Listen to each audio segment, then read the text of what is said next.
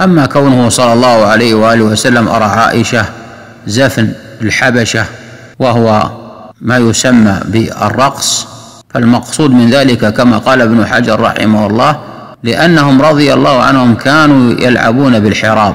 ويتحركون بها ويرفعون أقدامهم فشابهت هذه الصورة صورة الرقص وإلا فليس من الرقص في شيء وإنما في الصورة صورة من يرقص ولكن ليس رقصا كما هو متوهم بل شابهت هذه الحركة وإلا فكيف يكون ذلك؟